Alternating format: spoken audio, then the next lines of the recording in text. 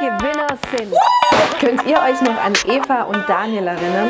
Die zwei haben den großen Rock'n'Roll-Einrichtungswettbewerb gewonnen.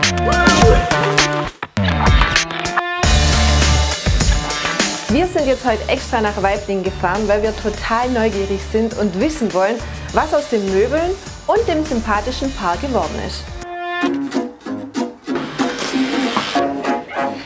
Gott sei Dank kann man nicht beim Möbel hochtragen helfen müssen. Ja.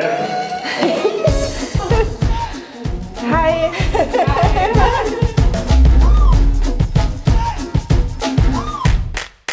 Ich habe tatsächlich schon ein paar Mal was gewonnen, also, aber so was Großes wie das natürlich noch nicht. Das war natürlich auch überwältigend. Wenn du zurückdenkst, was kommt, welche Situationen kommen dir als erstes in den Sinn? So? Ich glaube tatsächlich die Anfangssituation, da war ich ein bisschen geschockt, dass er da auf einmal so im Sprint da oben rum und zack, das nehmen wir jetzt, zack, zack. Wo ich erst so dachte, okay. Und auch der Punkt, wo er sich immer voll sicher war mit dem Geld und ich dachte so, weißt du, was du da tust?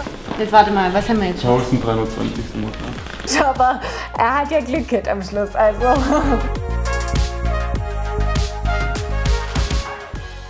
Das passt echt gut rein passt eigentlich alles, was wir ausgesucht haben, hat einen Platz gefunden. Ja, so.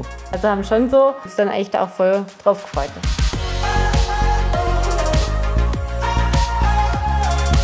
Also ich würde auf jeden Fall allen raten, mitzumachen. Also ich finde, man lernt sich selber auch nochmal ein Stück weit besser kennen in ja, sämtlichen ja. Situationen als das. Und natürlich hat es super viel Spaß gemacht mit euch als Team und auch mit dem ganzen Möbelrock-Team. Das war einfach eine coole Sache und auch eine super Erfahrung.